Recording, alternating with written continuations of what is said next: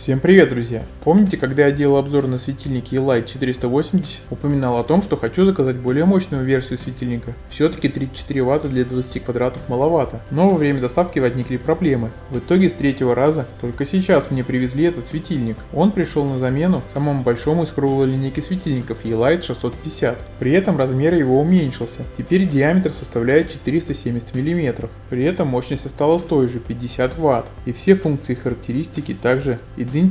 То есть возможность регулировать яркость, цветовую температуру, есть режим ночника, а также подсветка Ambilight. При этом цена его стала ниже. Кстати, помимо этого продавца заказал также светодиодную ленту E-Light, но не RGB, а обычную с белым светом. О ней я буду рассказывать в отдельном видео. Так как это бюджетная серия, упаковка из переработанного картона, но с логотипами и информацией о лампе.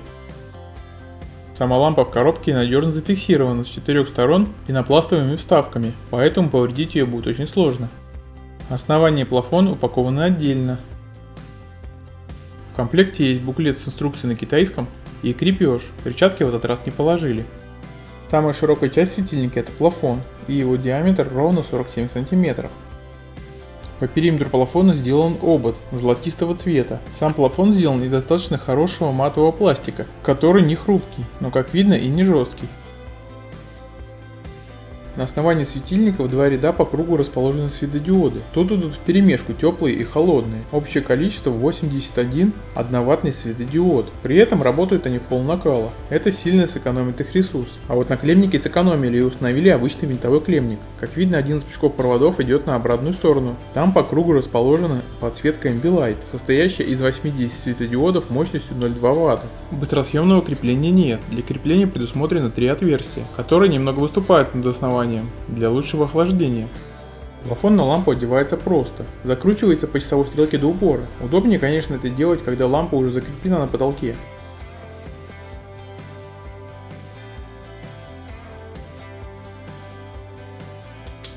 При первом включении лампа вспыхивает и появляется в приложении Mi Home.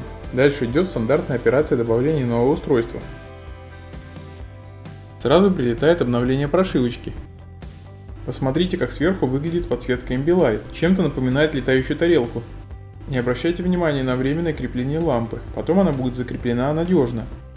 Как ни странно, в настройках в разделе «Пульт дистанционного управления» был прописан уже какой-то пульт. Видимо, китаец прописал и забыл его удалить, но в любом случае мне он не нужен, поэтому я его удалю. И сразу пропишу проводной диммер. Для этого просто зажимаем и удерживаем верхнюю клавишу. После этого светодиод на диммере и лампа моргнут.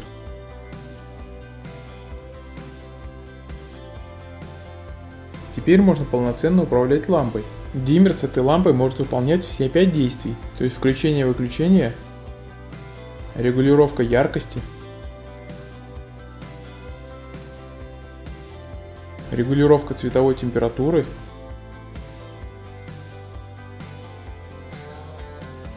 переключение режима основной ночник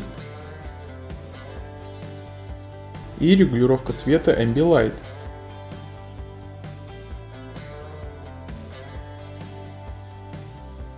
Кстати, в темноте эта подсветка выглядит еще более эффектно.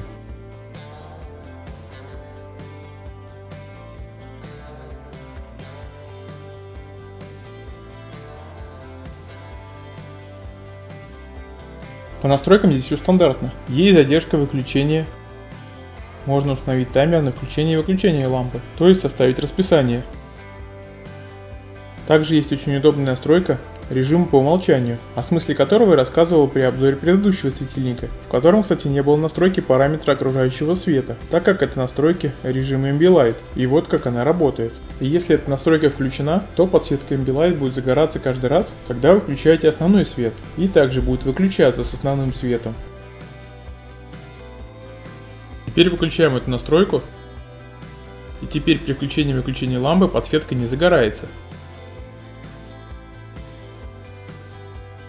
Но эту подсветку можно включить отдельно через приложение, где есть две вкладки «Основной» и «Окружающий свет». Также независимо через приложение можно включить основной свет, и при его выключении подсветка останется гореть. Но при таком режиме есть определенная особенность работы диммера. Если подсветка включена, а основной свет выключен, то при вращении диммера зажигается основная подсветка, хотя она должна зажигаться только по нажатию кнопки. При помощи диммера никакими способами отдельно подсветку не включить. Только можно поменять ее цвет. Поэтому назначил отдельно включение подсветки на нажатие беспроводной кнопки.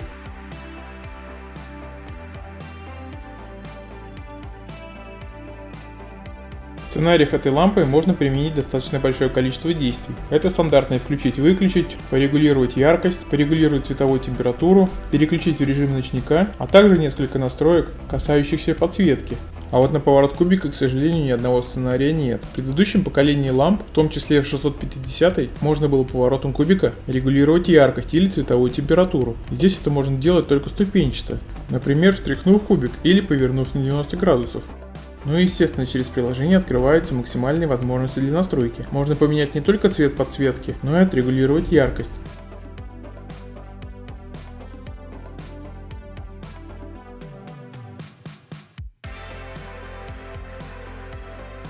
а также переключить подсветку в обычный белый цвет и отрегулировать цветовую температуру и также яркость.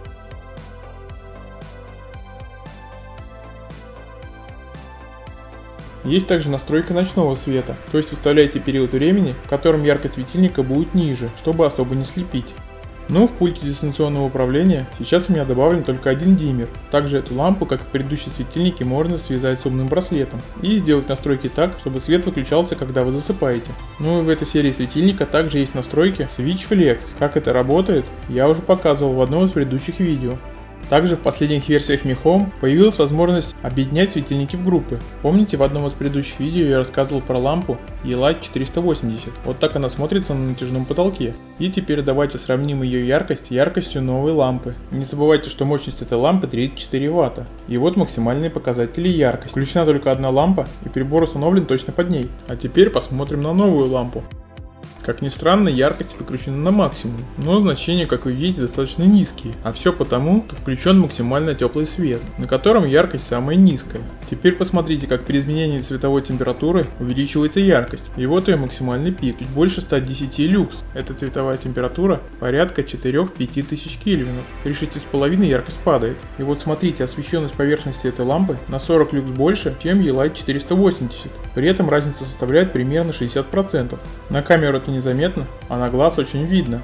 Сейчас я переключаю лампу между основным светом и режимом ночника. И вот что мне нравится в этой лампе. Яркость можно регулировать в широком диапазоне, от самого максимума до буквально эффекта луны при минимальной яркости режима ночника. При этом на максимуме, на мой взгляд, яркости хватает для освещения комнаты 20 квадратных метров при высоте потолков 2,70. При этом при цене 6000 модель с высоким качеством и похожим функционалом, пожалуй, достаточно сложно найти. При этом до сих пор можно купить 650 E-Light, которая стоит около 10 тысяч, но имеет, конечно, конечно, свои плюсы. Все ссылки вы найдете в описании. Спасибо всем за просмотр. Ну а на сегодня все. Всем удачи, всем пока.